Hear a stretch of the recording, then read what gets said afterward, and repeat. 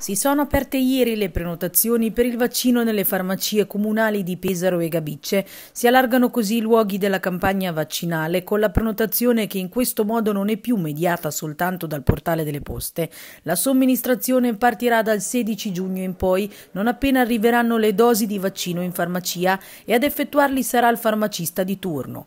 Il cittadino dovrà presentarsi con la richiesta di prenotazione e la tessera sanitaria in mano. Numerose le domande arrivate ieri nelle farmacie comunali già accreditate, Andrea Costa, Soria, Cattabrighe, Villa Fastiggi e Pantano, poi la sesta a Gabicce, a cui si aggiungono altre 21 farmacie private in tutta la provincia. Tra queste a Pesaro c'è la San Salvatore in largo Aldomoro, Madonna di Loreto in via Ugolini, Antonioli in via Branca, Rossini in via Recanati, Albini in via San Francesco, più una sesta Sta Candelara. Noi siamo partiti con l'adesione di 5 farmacie su Pesaro e una su Gabicce, cercheremo di gestire al meglio il, eh, il numero delle prenotazioni per eh, multipli di 6 perché le dosi dei fialetti dei vaccini sono 6 ogni, ogni boccetta e quindi cercheremo proprio nel, dalla prossima settimana, da mercoledì prossimo, di avere il numero giusto di vaccinati ogni farmacia rispetto a quello che, che è possibile fare. Considerate che e questa è una,